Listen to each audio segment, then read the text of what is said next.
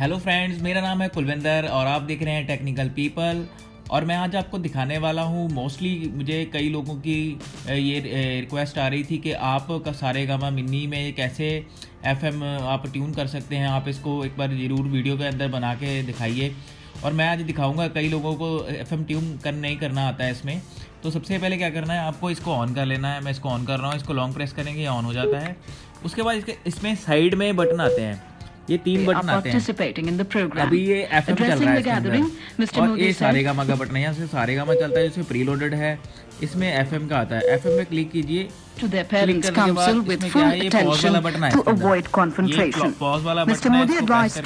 तो ये इसमें सर्चिंग मोड में आ जाता है। ये ऑटोमेटिक सर्च करता है। सर्च ये अपने आप सर्च कर रहा है देखो ये सारे चैनल जितने आ रहे हैं ये अपने आप सर्च कर रहा है। कुछ टाइम के बाद ये स्टॉप हो जाएगा। जैसे अभी स्टॉप हो गया है, अभी इसको आप प्ले कर प्ले कर सकते हैं। अभी ये नेक्स्ट करेंगे। ये चल पड़ा। ये चल पड़ा है दूसरा ऐसे ये एफ़ एम है और ऐसे ही अगर आप ए एम करना चाहते हैं एम ए एम का भी सही है। बटन दबा के दबा के रखिए।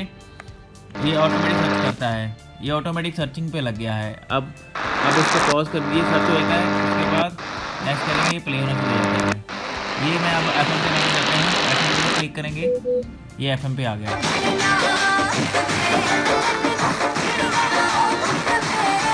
अगर आपको ये वीडियो अच्छी लगी तो लाइक कीजिए और सब्सक्राइब कीजिए। जिन लोगों को नहीं आता, उनको भी सेंड कीजिए। Thank you very much